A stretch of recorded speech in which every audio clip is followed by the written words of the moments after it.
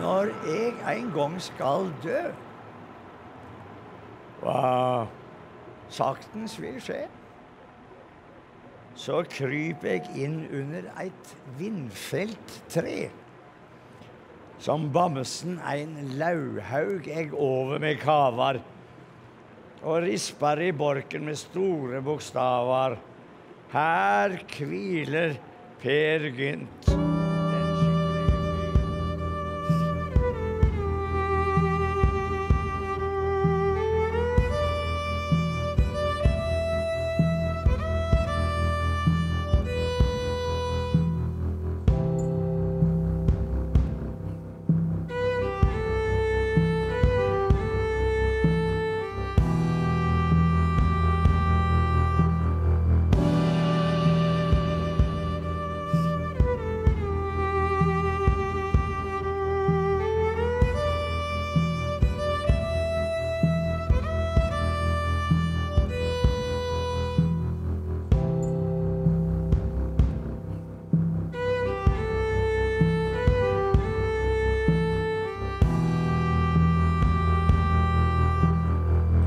Stad i hjertedjupet har vi lege og venta.